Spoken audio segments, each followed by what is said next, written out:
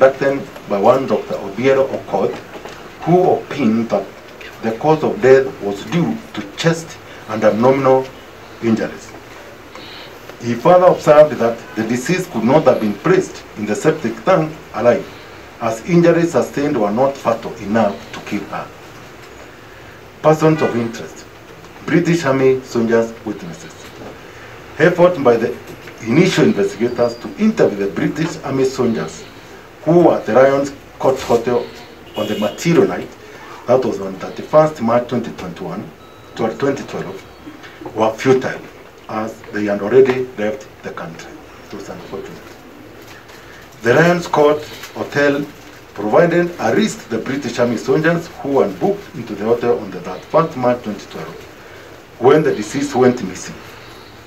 The initial investigating, investigating team subsequently wrote to the British Army Training Unit camp manager requesting to be provided with more details of the soldiers as per the list and the soldiers were confirmed as follows.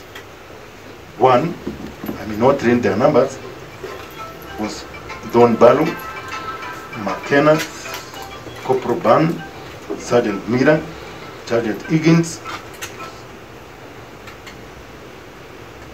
Bradshaw, Gales, and one Armitage. However, through cooperation, the Royal Military Police have provided the investigation team with more details of the British Army soldiers who were at the Lions Court Hotel on the fateful day as follows.